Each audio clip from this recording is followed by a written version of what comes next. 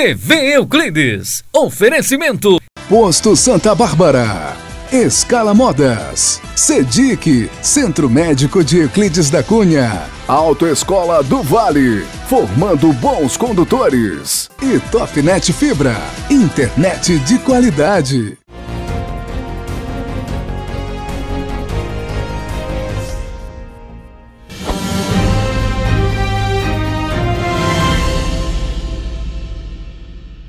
As aulas na cidade de Euclides da Cunha começaram ontem a todo vapor, na rede municipal. Entretanto, os estudantes da rede estadual, que moram na zona rural, só tiveram acesso às escolas estaduais a partir de ontem, devido ao início da circulação dos transportes escolares, que são alugados e pertencem ao município. Muitos estudantes compareceram pela primeira vez no Educandário Oliveira Brito, chegamos a conversar com alguns deles. E agora esse recomeço? Tá sendo diferente, né? Máscara e tudo, prevenção, mas vamos tentar. Como é seu nome? Fábia. Mora onde? Corralinho 2. Boa sorte. Obrigada. Então, Emily, depois de dois anos sem aula presencial, qual é a sua expectativa este ano? Bom, a expectativa é que, não sei, é muito difícil voltar. Muito, muito diferente, parece que está recomeçando tudo de novo. É isso. As aulas remotas foram como para você? Bom, para mim foi muito difícil. Foi muito difícil. Não ter, não estar tá numa sala de aula é muito diferente. Você mora na cidade de Euclides, na sede ou no interior? Eu moro na cidade. Qual bairro? Nova América.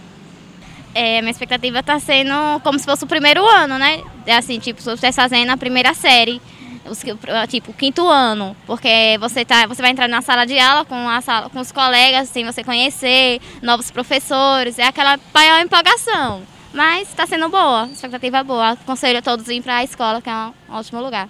Laísa, depois de dois anos sem aulas presenciais, como é que você está se sentindo hoje? Me sentindo feliz, está começando a nova normalidade. Estou gostando da nova normalidade, que está começando o ano letivo. Já achou sua sala? Ainda não, vou estar procurando.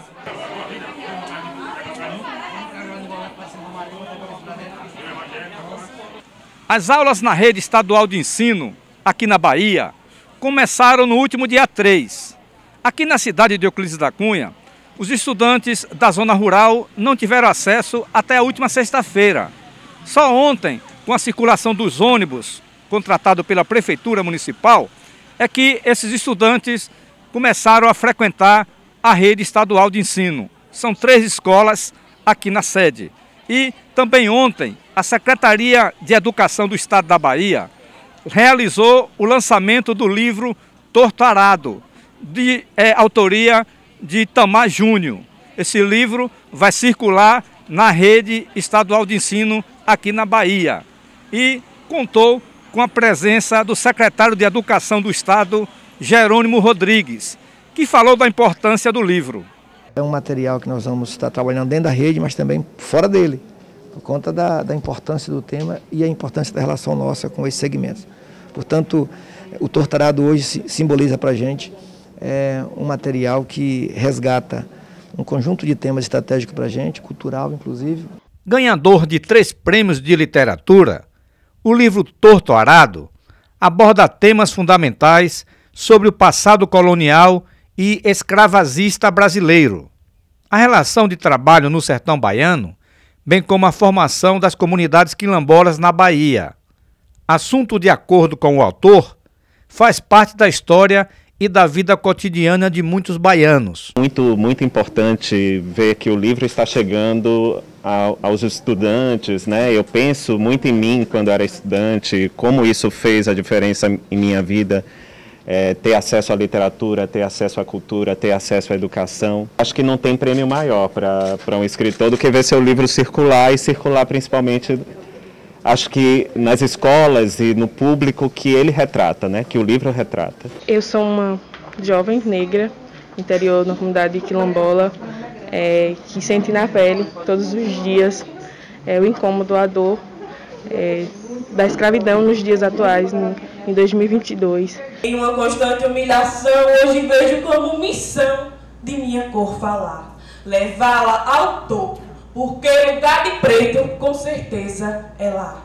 O topo do mundo para os que vieram do fundo, me orgulho em, em falar. Empoderada, ativista, Iris Neves, feminista, preta, ilimitada, que insiste em calar.